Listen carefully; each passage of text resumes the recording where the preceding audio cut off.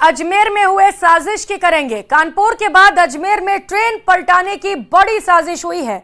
वहाँ कालिंदी एक्सप्रेस के डिरेल करने के लिए ट्रैक पर गैस सिलेंडर रखा गया तो अजमेर में मालगाड़ी के सामने 70 किलो के दो सीमेंट ब्लॉक रखे गए। गनीमत रही कि मालगाड़ी दोनों ब्लॉक को तोड़ते हुए आगे निकल गई।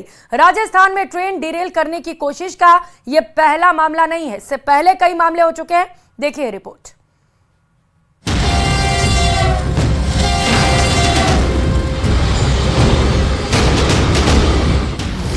किसने रची ट्रेन डिरेल करने की साजिश?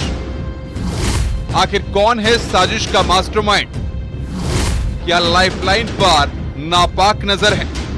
अजमेर के लामाना गाँव स्थित डीएफसीसी कॉरिडोर पर सीमेंट का ब्लॉक रखकर ट्रेन को बेपटरी करने का यहाँ पर प्रयास किया गया। गनीमत रही कि ट्रेन स्पीड से थी और सीमेंट को ब्लॉक को उड़ाते हुए वह आगे निकल गई। इस सीमेंट के ब्लॉक को तोड़ते हुए आगे निकली। ये वही जगह है जहाँ पर इस वारदात को अंजाम देने का प्रयास किया गया।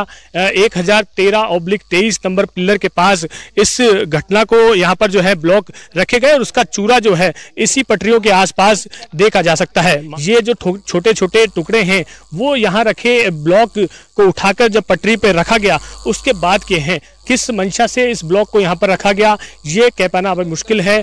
ट्रेन को लूटने की नीयत से जो है इस वारदात को अंजाम दिया गया, या फिर इसको जो है नुकसान पहुँचाने की नीयत से इसको जो है अंजाम दिया गया, ये सभी जो है जाँच के दायरे में लिए जा रहे हैं।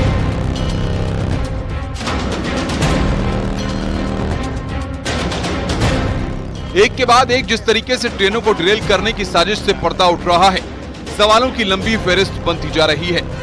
पहले उत्तर प्रदेश के कानपुर में कालिंदी एक्सप्रेस को सिलेंडर से डिरेल करने की कोशिश हुई और अब अजमेर में रेलवे ट्रैक पर दो जगह 70 किलो के सीमेंट ब्लॉक रखकर मालगाड़ी को पलटाने की कोशिश की गई। लेकिन गनीमत रही कि दोनों ही जगह कोई बड़ा हादसा नहीं हुआ। क्या आपने जांचा है? क्या परखा है? क्या देखा अभी तक? देखा मामला तो सीरियस है। अब हम इसको पुलिस के साथ मिलकर कोशिश करेंगे जल्दी वर्कआउट करने की। लगता है सर मकसद? मकसद तो जब तक क्रिमिनल्स पकड़ नहीं आएँगे उनका क्या मकसद था?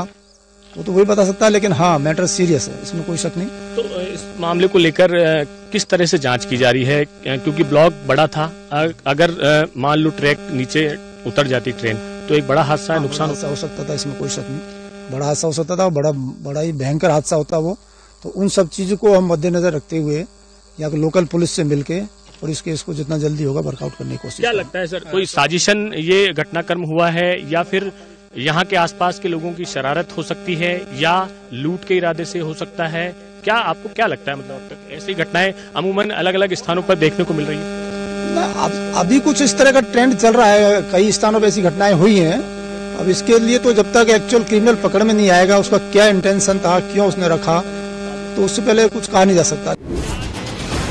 अजमेर में सनातना पागड़ गाँव पर ये वही रेलवे ट्रैक है, जहाँ मालगाड़ी को ड्रिल करने के लिए 70 किलो वज़न के सीमेंट के ब्लॉक रखे गए। लेकिन पुलेरा अहमदाबाद रेल मार्ग पर मालगाड़ी दोनों ब्लॉक को तोड़ते हुए आगे निकल गई।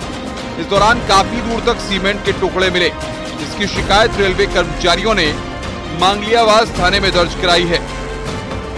जो लमाना गाँव, मांगलियावास का सरहद का गाँव है, उसकी जो डीएफसीसी रेलवे लाइन है, उसकी ऊपर किन्हीं अज्ञात शरारती तत्वों ने पटरी पर दो सीमेंट के जो है कंक्रीट ब्लॉक्स रखकर ट्रेन को जो है क्षतिग्रस्त करने, डीरेल करने के उद्देश्य से जो है उन्होंने दो ब्लॉक्स रखे थे, जिनको जनानी नहीं हुई, ट्रेन तोड़ती हुई उन ब्लॉक्स को निकल गई। जिस पर सूचना उन्होंने हमें दी है बाद में इसमें मुकदमा दर्ज कर लिया गया है। एक सौ तिहत्तर ऑब्लिक चौबीस, एक सौ पचास, एक सौ बावन रेलवे एक्ट और three P D P act में। एज एच उच्च अधिकारी मौके पे हैं, बाकी टीमें गठित कर दी गई हैं। इन शरारती तत्वों का पता करने के लिए।